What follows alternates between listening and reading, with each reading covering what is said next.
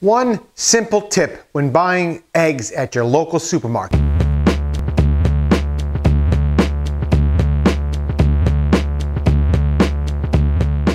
Hey there, NJRoute22.com here with another kind of low carb chat, I guess, and a supermarket vlog. I guess I can put them into multiple playlists. I don't even know how to handle this. I'm gonna have to break up my YouTube channel into like five different channels this year. I don't know how I'm gonna do it. It takes a lot of time to do all this uh, management. But anyway, to cut to the chase, when you go to the supermarket, don't get hung up on all the different eggs. Just buy the cheapest freaking eggs you can. Why? Because it doesn't make really much of a difference after that point. Most, if not all, eggs at a supermarket are way past the time that the eggs were laid. They're not nearly as fresh as they can be when you buy them from a, a local egg person. We have them in our neck of the woods here, or from an egg farmer directly, where you can just get them like a day or so after the eggs were laid. Uh, you can tell the freshness of an egg by looking at the color of the yolk.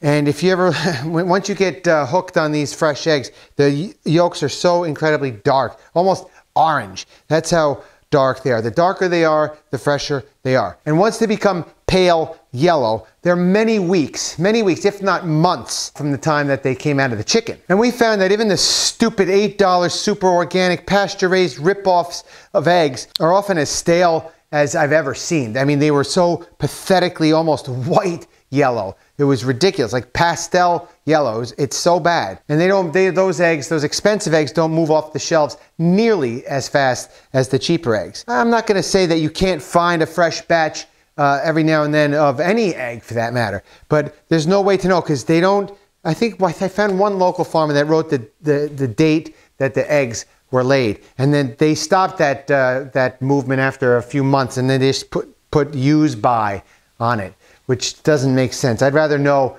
uh, when the eggs were laid and make the decision myself. So don't waste your money on overpriced eggs at the supermarket. If, if the supermarket's the only place you're getting your eggs, unless you get that feel-good feeling of when you know make sure everybody's watching you buy those uh, $10 eggs, and so they think you're all uppity and all that. I don't, I don't know. Maybe there's some psychological effect of buying something that has some words on it that say organic or free range or pasture raised or I, I don't really care because you, there's no way you can prove that that egg is exactly what they say on the box. So we visit those local egg stands and you can get the freshest eggs ever. If you can go out of your way to find find some, buy 10 dozen eggs and you'll you can keep them in your refrigerator for several weeks and they'll still be fresher than the eggs you get at the supermarket. And we, we pay anywhere from two to three dollars a dozen, sometimes four dollars, depending you can get these jumbo eggs. Lastly, the eggs you buy at a local farm stand or from some neighbor that has an egg coop in their uh, house. They're not officially organic, but I tell you, they're probably a lot